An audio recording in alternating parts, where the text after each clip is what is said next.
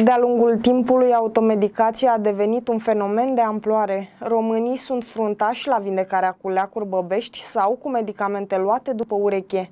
Nici când vine vorba de consumul de antibiotice, nu cer întotdeauna sfatul medicului. De la analgezice și suplimente alimentare până la antibiotice și chiar întreaga schemă de tratament pentru COVID-19, românii au medicamente după ureche, ignorând faptul că își pot pune astfel viața în pericol. Luați des medicamente fără recomandarea medicului. A, mai iau și fără recomandarea medicului, că mă duc la bablaie, la punctele așa de vegetale, cum se spune, la plante medicinale. A, așa, și știu destul de multe și ălea știu care, he, știu foarte mult știu.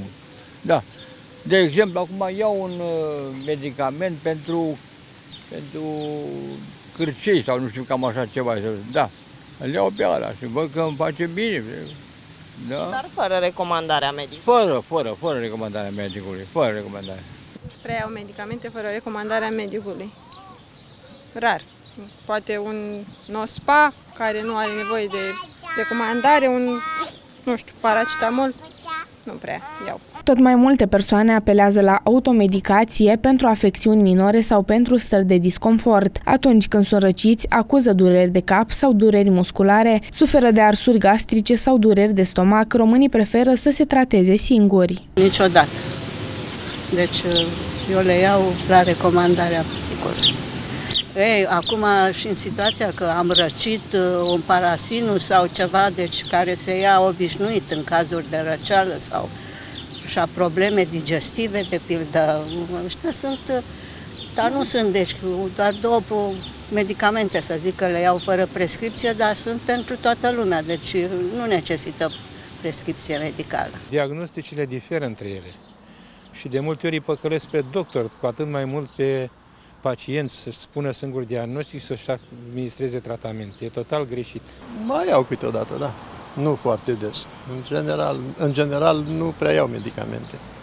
Mai iau suplimente alimentare, mai niște ceaiuri. Cât de des luați dumneavoastră medicamente fără recomandarea unui medic? Nu le prea iau fără recomandarea unui medic. Eu iau medicamente permanent de 10 ani și nu prea iau fără recomandare. Nu luăm niciodată fără recomandarea doctorului. Numai când ne recomandă doctorul. Nu, nu iau fără recomandarea unui doctor. Niciodată nu iau și uh, am luat poate cândva acum 20-30 de ani, dar am constatat că și o aspiniră sau paracetamol uh, nu-și face efectul sau îți face ceva rău dacă lei fără să întrebi doctorul.